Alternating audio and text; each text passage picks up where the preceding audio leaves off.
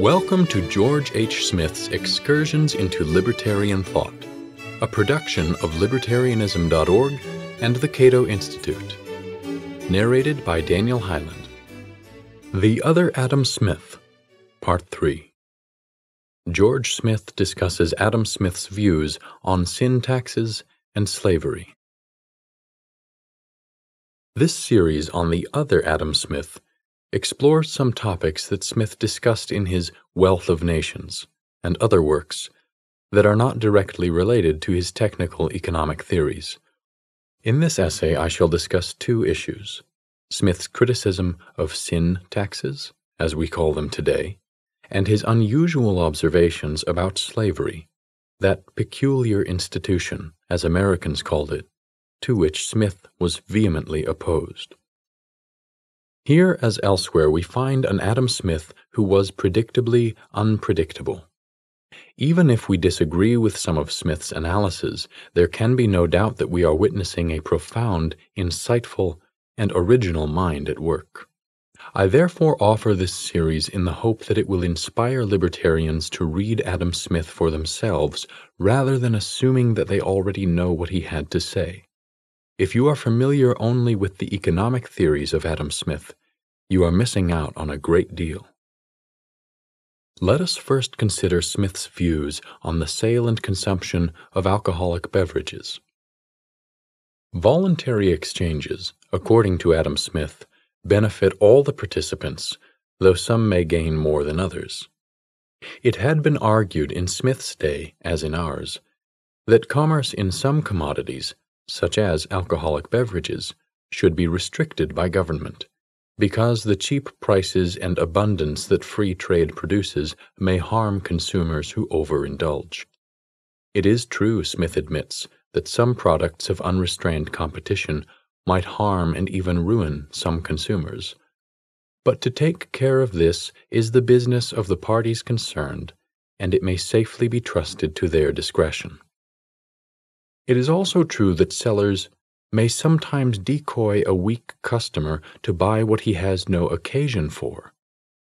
But again, this should be a matter of individual responsibility.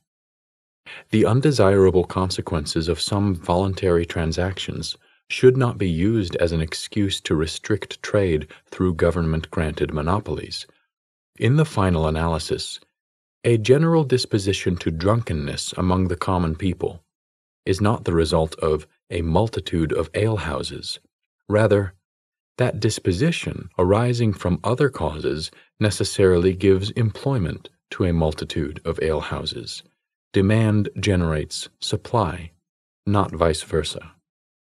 In Lectures on Jurisprudence, 1762 3, Smith maintains that taxes on commodities raise their prices above normal market levels and thereby diminish public opulence and natural wealth of the state. Such taxes are especially hard on the poor, who are unable to purchase heavily taxed items that the rich can easily afford. Liquor is no exception in this regard.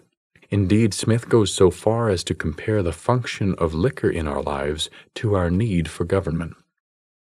Strong liquors are almost a necessary in every nation, Man is a careful animal, has many wants and necessities, and is in continual care and anxiety for his support.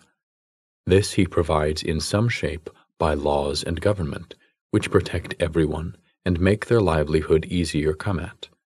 Strong liquors are an expedient to the same purpose, which all nations have fallen upon, and they are therefore become almost necessaries of life, and when used in moderation, probably conduce to health. Smith continues with an interesting claim. It is said indeed that taxes on those liquors prevent drunkenness, but the contrary is probably the case. He expands on this point in Wealth of Nations. It deserves to be remarked, too, that if we consult experience, the cheapness of wine seems to be a cause not of drunkenness, but of sobriety. People are seldom guilty of excess in what is their daily fare. In the countries which, either from excessive heat or cold, produce no grapes, and where wine consequently is dear and a rarity, drunkenness is a common vice.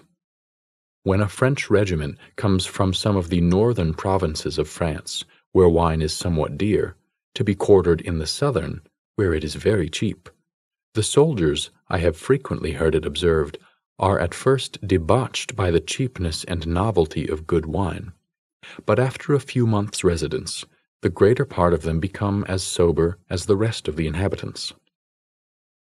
What would happen in Great Britain if all duties and taxes on wine, malt, beer, and ale were taken away all at once? Smith speculates that a pretty general and temporary drunkenness might occur, especially among the lower classes but this would probably be soon followed by a permanent and almost universal sobriety, as most people learned to moderate their drinking habits. Moreover, the restraints upon the wine trade do not so much seem calculated to hinder the people from going, if I may say so, to the alehouse, as from going where they can buy the best and cheapest liquor. Thus, the laws and regulations that purport to control the consumption of alcohol accomplish no such thing. Their net result, and, Smith suspects, their original purpose, is to restrain competition and keep prices artificially high by granting special privileges to those producers favored by a government. Again, Smith concedes that the freedom to purchase alcoholic beverages at low market prices may be abused. But the same is true of other commodities, as when a glutton purchases too much meat from a butcher. In any case, the personal excesses of a minority are no justification for compelling everyone to pay the higher prices caused by duties and excise taxes, measures that are in fact motivated not by any authentic concern for the public good, but by the desire of governments and their businessmen cronies to line their own pockets with artificial and excessive profits. Here, as elsewhere, the interests of consumers are sacrificed via the instrumentality of legalized coercion to the interests of privileged manufacturers and merchants, and all in the name of the public good. Smith discusses and criticizes slavery at length in his Lectures on Jurisprudence, 1762 3 and he summarizes much of the same material in a more polished form in Wealth of Nations. These discussions cover a good deal of ground, but I shall focus on Smith's point about the primary motivation of slaveholders, a point that may surprise those libertarians who believe that, according to Smith, economic considerations trump all other values. Smith had no doubt that slave labor is less efficient than free labor. The experience of all ages and nations, I believe, demonstrates that the work done by slaves, though it appears to cost only their maintenance, is in the end the dearest of any. A person who can acquire no property can have no other interest but to eat as much and to labor as little as possible. Whatever work he does beyond what is sufficient to purchase his own maintenance can be squeezed out of him by violence only, and not by any interest of his own. Given the relative inefficiency of slave labor, we might think that we could appeal to the economic interests of slaveholders to persuade them to replace slave labor with free labor. But this method of argument rarely proves effective because the gratification people get from owning slaves runs far deeper than pecuniary gain. As Smith puts it in Wealth of Nations, the pride of man makes him love to domineer, and nothing mortifies him so much as to be obliged to condescend to persuade his inferiors. Wherever the law allows it, and the nature of the work can afford it, therefore, he will generally prefer the service of slaves to that of freemen. Similarly, in Lectures on Jurisprudence, we find this statement about slaveholders in a democracy. Though, as I have here shown, their real interest would lead them to set free their slaves and cultivate their lands by free servants or tenants, yet the love of domination and authority, and the pleasure men take in having everything done by their express orders, rather than to condescend to bargain and treat with those whom they look upon as their inferiors and are inclined to use in a haughty way. This love of domination and tyrannizing, I say, will make it impossible for the slaves in a free country ever to recover their liberty. Although Smith's prediction fortunately proved inaccurate, in 1833, for example, Great Britain abolished slavery throughout most of the British Empire. His analysis is interesting on several fronts.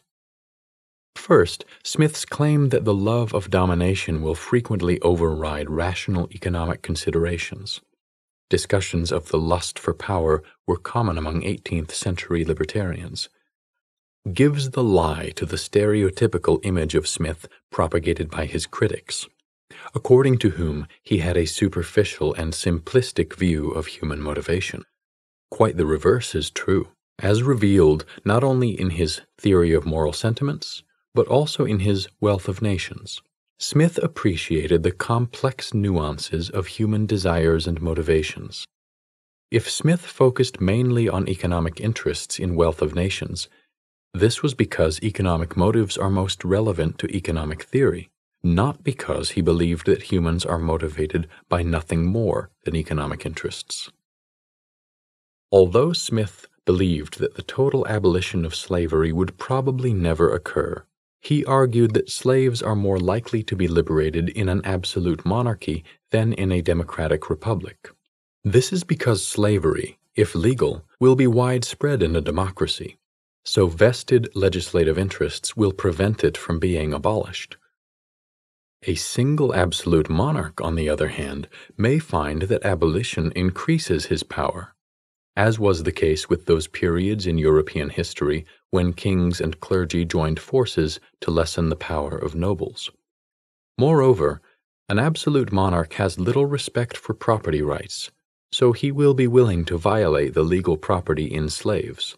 Thus, at the very least, slaves are likely to receive better treatment under an arbitrary government than in a democracy. Knud Haakonssen comments on this unusual analysis in The Science of a Legislator, The Natural Jurisprudence of David Hume and Adam Smith, Cambridge, 1981, page 140.